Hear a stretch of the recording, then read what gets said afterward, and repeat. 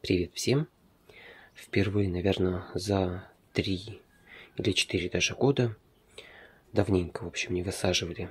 И тут вот мы решили высадить два баклажана в теплицу. Так сказать, продлить плодоношение, так как в прошлом году у нас помидоры вообще до практически конца сентября росли.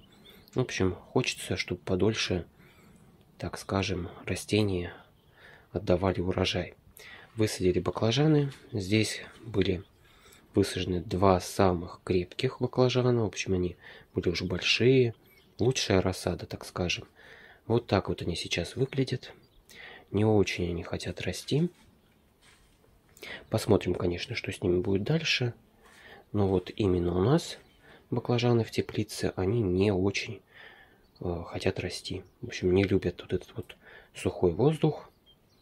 И сейчас я вам покажу другие баклажаны, где была рассада гораздо хуже, но они у нас растут в парнике. Вот такие вот баклажанчики уже зацвели. Все отросли. Там с краю вообще был самый плохой баклажан. Смотрите, он догнал.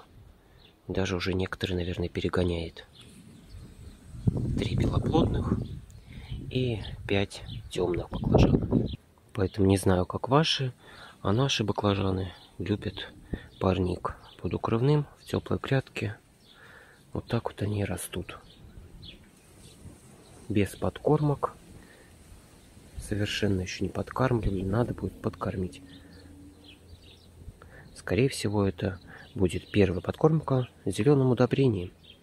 1 литр зеленого удобрения на 10 литров воды. Поэтому такая вот история с баклажанами. Посмотрим, сравним урожайность и сделаем выводы по уже окончанию сезона. И по формировке баклажана вообще рекомендуют до вот этой вот первой развилки удалять все пасынки. То есть все вот это нужно будет удалить, когда это немножко отрастет, потому что сейчас просто еще пока нечего удалять. И здесь тоже, соответственно, до развилки.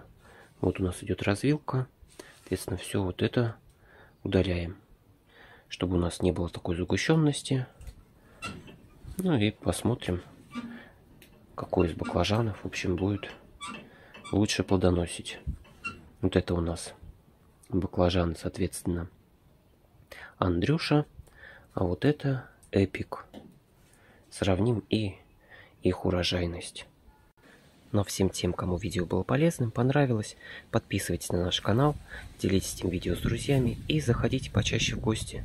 Всем пока-пока, всего самого-самого доброго и отличного урожая!